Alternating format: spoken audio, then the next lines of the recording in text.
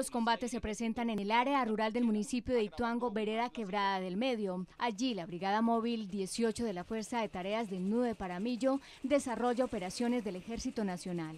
Hasta el momento, como resultado de esos combates, tenemos una guerrillera herida capturada, una guerrillera, una guerrillera que se rindió en combate y tenemos un, soldado que desafortunadamente nos falleció en el momento en que lo estamos evacuando eh, en, el procedimiento de evacuación hacia la ciudad de Medellín. Los dos militares heridos fueron trasladados hasta Medellín por la Fuerza Aérea Colombiana, escoltados por un helicóptero arpida del Comando Aéreo. De acuerdo con el general Pinto, no revisten heridas de gravedad. Continúan los combates, en este momento estamos haciendo un refuerzo de tropas en el, en el área de operaciones. Según las autoridades, en los combates los militares se enfrentan con cerca de 80 guerrilleros del Frente 18 de las FARC.